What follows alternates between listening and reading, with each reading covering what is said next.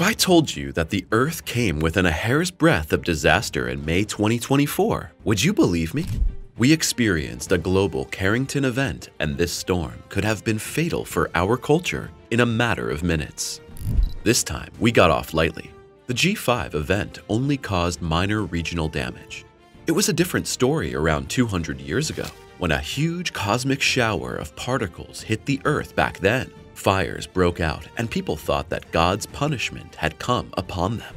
Today, we already know a lot more about gigantic solar storms that can attack and destroy power lines and communication systems. And we know that the danger is not over yet. It's a fact. At the beginning of May 2024, the Earth experienced one of the strongest geomagnetic storms of the last two decades. Triggered by violent solar flares and coronal mass ejections, huge streams of particles drifted from the Sun towards our globe. These geomagnetic storms raged in the deeper layers of the Earth's atmosphere between May 10th and 15th. The particle streams were caused by the active sunspot AR 3664, which is one of the largest solar anomalies we humans have ever observed. Scientists have been warned because this spot already has the potential to trigger a new Carrington event. If the spot continues to grow, which we must currently expect, the danger will become ever greater. In the coming months, the all-destroying storm could hit the Earth. The stream of particles from the sun that hit us in May 2024 led to spectacular auroras that were visible in unusual regions. In the northern hemisphere, the northern lights were seen far to the south. In some regions of Europe, the night sky glowed reddish. Even in Hawaii, people saw the spectacle, and in the southern hemisphere, the light shows were visible as far away as Queensland in Australia. The impressive auroras were caused by the interaction of charged particles of the solar wind with the Earth's magnetosphere. Scientists watched the events with as much attention as governments, satellite operators, power companies, and the heads of the world's leading communications providers.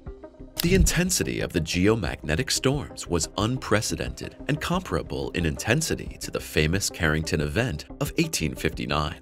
Only this time we had hardly any damage. It was different in 1959. During the Carrington event, electrical systems went haywire and the sky was ablaze even in broad daylight. One thing is for sure, the storms in May 2024 reached geomagnetic levels G4 and G5 on the 5-level scale which means they were severe to extreme geomagnetic storms. These geomagnetic storms could have had a severe impact on Earth and humanity at any time. A solar storm can suddenly paralyze satellite-based communication and navigation systems and plunge our civilization into chaos. This time, we were lucky and only experienced brief power outages and disruptions to the power grid in some regions. Elon Musk posted a diagram showing the load curve of his Starlink satellites clearly reaching the limit. All in all, however, the SpaceX CEO was relieved that his satellites were able to withstand the enormous load. However, we are still far from certain as there will be more storms to come and the AR 3664 sunspot may still be active for months to come. A sunspot 15 times bigger than the Earth. How would you react if a monster suddenly developed before your eyes and you knew that this something posed a great danger to the entire globe? This is exactly what happened to scientists who observed the growth of sunspot AR 3664 over a period of weeks. Sunspots are phenomena on the surface of the sun that appear as dark and relatively cool areas. They are caused by intense upheavals inside the sun Magnetic upheavals lead to reversals and overlaps in the solar currents. Convection processes prevent the ascent of warm masses from the interior of the sun. As a result, huge regions collapse on the surface of the sun. In May 2024, the sunspot AR 3664 reached a size that would have swallowed our Earth 15 times over. The lack of hot mass on the surface and the drop in temperature caused the sun to quote-unquote cough. The fireball spits out huge streams of particles and these can hit the Earth in less than half an hour. The consequences of coronal mass ejections are far more powerful than such coughs. In these events, the sun ejects entire parts of its shell. The streams of charged particles are then more massive, but also slower. Storms generated by coronal mass ejections take between one and three days to reach the Earth. AR 3664 is definitely an event of the century. The sunspot is one of the largest since the beginning of solar observations, and it could continue to grow. The storm of May 2024 can only have been a harbinger. The most active solar cycle will hit us. Can you imagine the incredible forces that are being put into action on the Sun? The force of the processes is enormous. Billions of tons of plasma are circulated in a sunspot like AR 3664 alone. Compared to the entire size of the Sun, the spot is small, but it can be fatal for us Earthlings. Yet we need this activity of the Sun, and we also need its particle streams. They contribute to our climate. The Sun's light sends us vital warmth, and the Sun's particles protect us from cosmic radiation. Solar storms are cyclical events, and the Sun has storm seasons similar to certain geographical regions of the Earth. Just as the tropics can be hit by cyclones or hurricanes sweep across the American continents, our sun also knows certain times when it produces massive storm events, and with them the corresponding threats. The current large sunspot is part of solar cycle 25, which repeats approximately every 11 years. Within these cycles, solar activity fluctuates from a minimum to a maximum and back again. Solar cycle 25 began in 2019 and reaches its peak in 2025. For this reason, we must expect the size of AR 3664 to continue to increase and the danger to rise. AR 3664 formed from 16 individual spots that suddenly merged into one spot. Typical sunspots can have a diameter of around 16,000 to 160,000 kilometers. AR 3664 already extended over more than 200,000 kilometers in May 2024. We currently do not know when and where new spots will appear. Although we can predict the events inside the Sun to some extent, our Sun is by and large unpredictable. Just as a storm can brew on Earth within a very short time, so it is on the Sun. The intense magnetic activity of AR 3664 can lead to high energy solar flares and coronal mass ejections alike. Like other sunspots, AR 3664 will change over time and eventually dissipate. Sunspots typically have life cycles of days to weeks, sometimes months. However, because AR 3664 is exceptionally large and active, its lifetime could be unusually long. Scientists are currently observing the spot around the clock. As soon as a particle stream is released, NASA issues a warning to governments, power companies, airlines, and space and communications companies.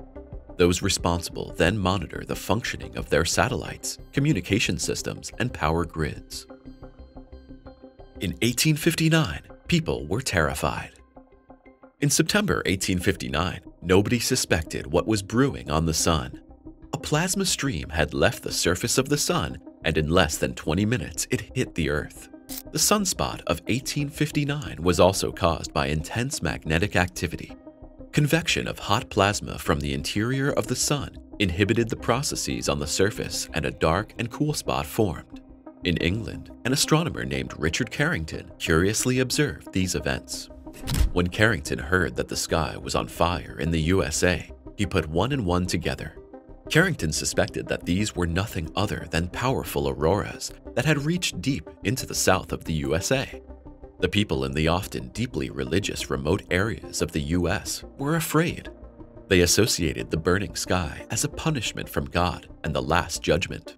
People are said to have run into the streets screaming and pleading for mercy.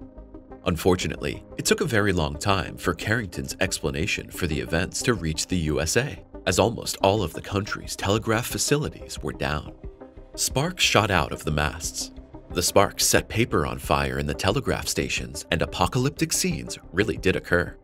The plasma stream hit the Earth unusually quickly. Today, experts suspect that the intensity indicates a coronal mass ejection, which was then propelled very quickly towards Earth. When such a stream of particles is ejected, the plasma moves through interplanetary space at speeds of hundreds to thousands of kilometers per second. Whether this plasma hits the Earth or not depends on several factors, including the direction of the ejection and the position of the Earth relative to the Sun at the time of the eruption. When the plasma cloud hits the Earth's magnetic field, a geomagnetic storm is triggered. The Earth's magnetic field normally traps the charged particles and guides them along the magnetic field lines to the polar regions. Here, the particles interact with the upper atmosphere and excite the atoms and molecules, causing the spectacular auroras. When large amounts of particles hit the Earth's magnetic field, the magnetic field can collapse, and then the particles from the Sun reach the lower regions, creating auroras in regions that do not normally see this phenomenon.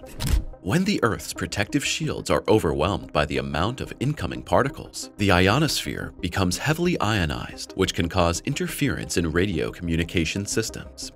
Today, the increased radiation can also endanger the health of astronauts and passengers in high-flying aircraft. In 1859, technologization was in its infancy. The first telegraph systems were the latest achievements of this era. The scenes of burning wires must have been scary, the lights were so bright that people could read newspapers outside at night, and in some telegraph stations, the telegraphs worked as if by magic, completely without a connected battery. They were moved solely by the force of the charged particles. Now, you might be thinking that this is all a bit far away, but 140 years after the Carrington event, we received a severe warning. In October 2003, the so-called Halloween storms raged on Earth, these geomagnetic storms were the result of solar flares and mass ejections that began at the end of October and continued their destructive force into the first days of November. On October 28, 2003, the Sun had experienced one of the strongest solar flares ever recorded. Classified as an X17.2 flare, this flare produced streams of particles hurtling towards the Earth at a speed of about 2,000 kilometers per second. Just one day later, another, even stronger X-10 class flare hit the Earth. The auroras then extended as far as southern Europe and Texas in the USA. In Sweden, geomagnetic currents caused a widespread power outage. Satellites in orbit were damaged or temporarily disabled by the increased radiation levels. Airlines had to change their routes to avoid polar regions where radiation was strongest, and GPS systems suffered significant disruption. The Halloween storms of 2003 made it unmistakably clear how dependent our modern technology is on the stability of space weather. They reminded the world that even in an age of advanced technology, the forces of the sun can have an immense impact on our daily lives. Subscribe to the channel now and enjoy new exciting videos all the time.